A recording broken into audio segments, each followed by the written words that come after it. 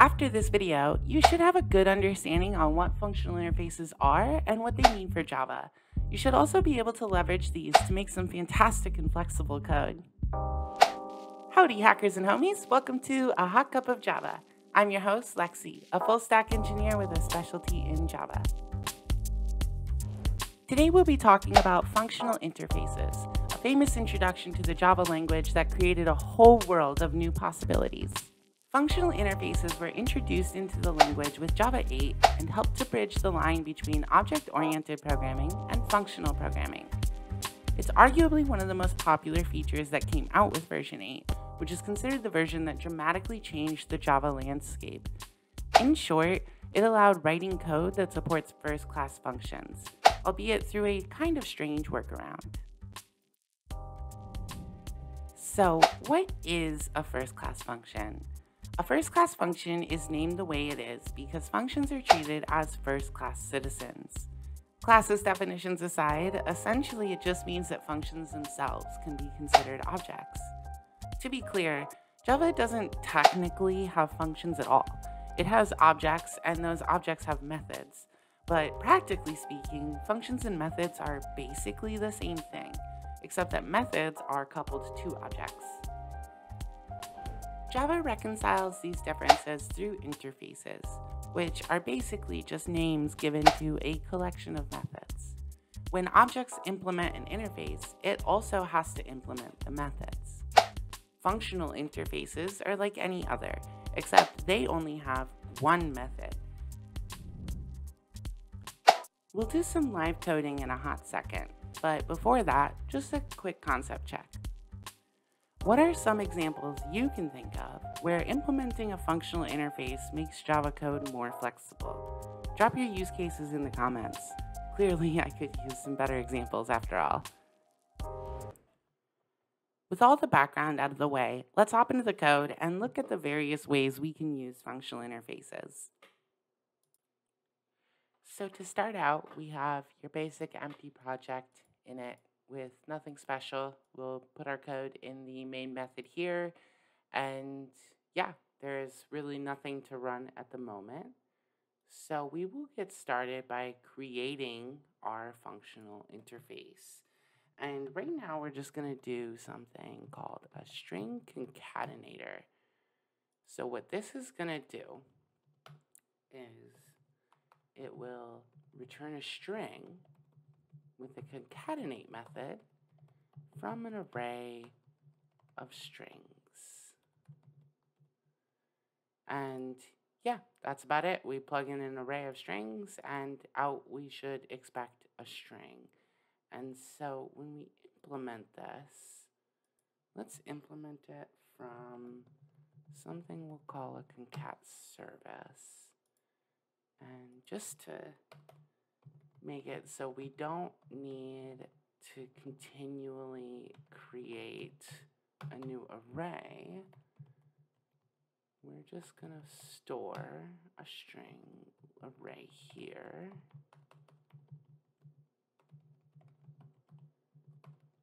in the constructor.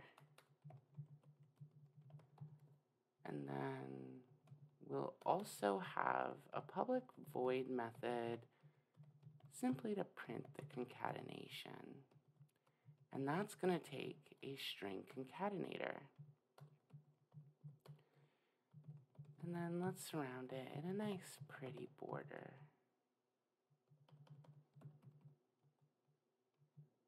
And then, oh, then we'll also print our result of concatenating on our stored array of strings. So let's go ahead and get that out of the way where we create our array. Um, I'm thinking, hmm, concat service. Let's just go do hello world of Java. All right. So now we have to plug in a string concatenator into our print concatenation method. So since this is an interface, let's start off our first implementation we'll do like any other. We're going to go ahead and make a class. And let's go ahead and make that a delimiter concatenator.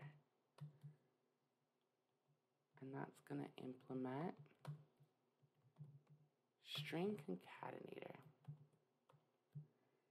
So let's implement our method, which is the concatenate method. But first, let's, similar to how we did with the string array, let's go ahead and store a delimiter that's decided through the constructor.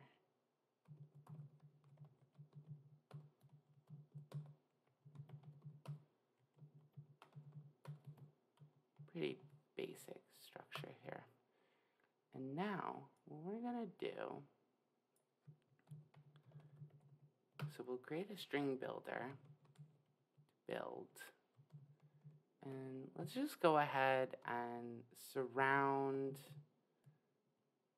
our whole thing with the delimiter, including in between. So we just do a little enhanced for loop. And then we'll go ahead and append to our builder the string and we'll also append our delimiter. And then we just go ahead and return the builder as a string. Simple enough.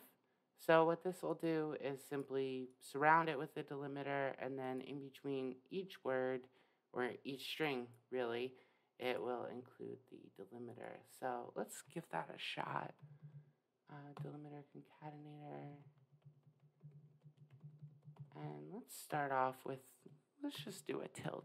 That's a nice looking character. And then see what it looks like when we plug it in. Now, what this is doing is the delimiter is an implementation of the string concatenator interface. So when we plug it into print concatenation on the concat service, it's a valid argument here. And so it will simply call the concatenate method on our delimiter concatenator and then run that through our array of strings that we plugged in over here, the hello world of Java. So let's run that and see what it looks like. And would you look at that? Nice and fancy looking little delimiter. So this is nothing new. If you've implemented interfaces before, you've probably seen an implementation pretty similar to that. So let's do something actually interesting with functional interfaces. What we're going to do is not do anything at all besides inline. We're going to make something called a lambda function. And this lambda function will just not even name at all. Integer to string x dot length. So in this case, we're creating an implementation of the string concatenator through just an inline function like this. So it's taking as its argument the array of strings, and then this little arrow is indicating that we're moving from parameters to function, and then we're returning a single string. And when you only have one line like this for a functional interface, you can go ahead and skip the brackets, the return statement, all the semicolons, if it's just one line, all you need is for that line to result in what your return value is. So in this case, our return value would be a string.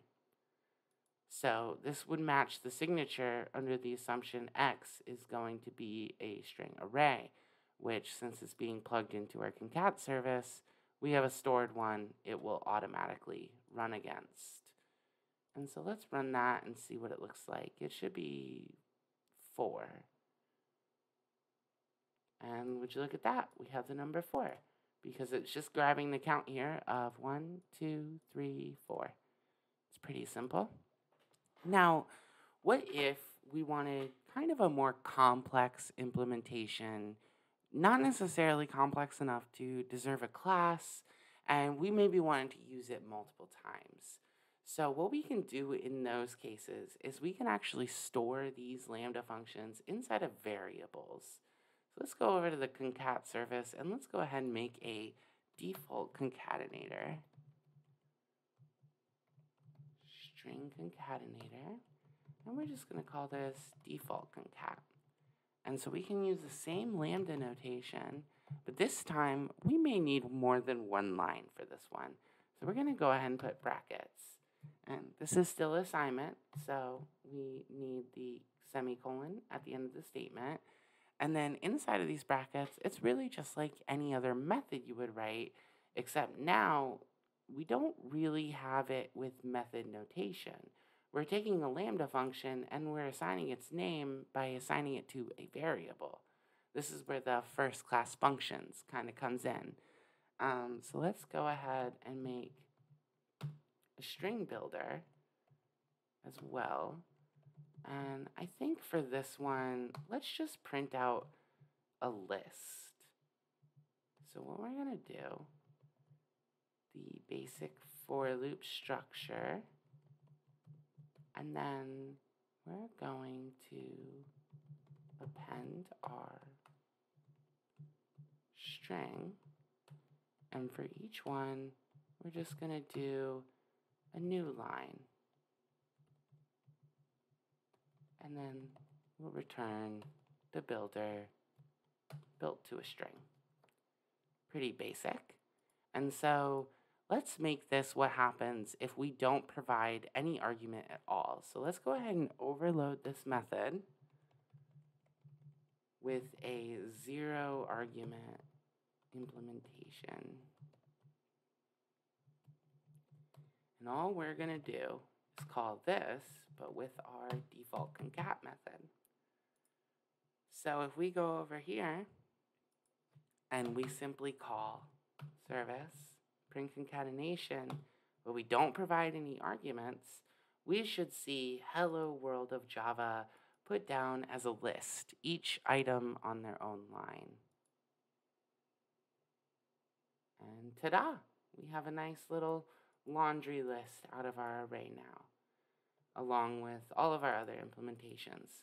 So to quickly review, functional interfaces, which is this one, just like any other, but it just has one method, and this can be implemented through a class with the classical implementation of any interface. It can also be implemented inline, which doesn't require brackets or return statement if you keep it to one line, and this is just completely unnamed. And then we can use this same syntax to assign it to a variable for later reuse, but not necessarily as a method, so that we can plug in and output like that. And this should really sort of enhance our ability to make more flexible code that can take a process as a parameter rather than just raw data. And with that, we've gone over all of our common cases you'll come across with functional interfaces. To sum up, we've looked at what a functional interface does, what a first class function is, and how these are implemented in real world Java code. Before you go, check out the description for a link to a little challenge I have for you to try your hand at functional interfaces. Also, naturally, the code we wrote here can also be found in the description, so help yourself to it if you want the reference. Until next time, catch you later, coders.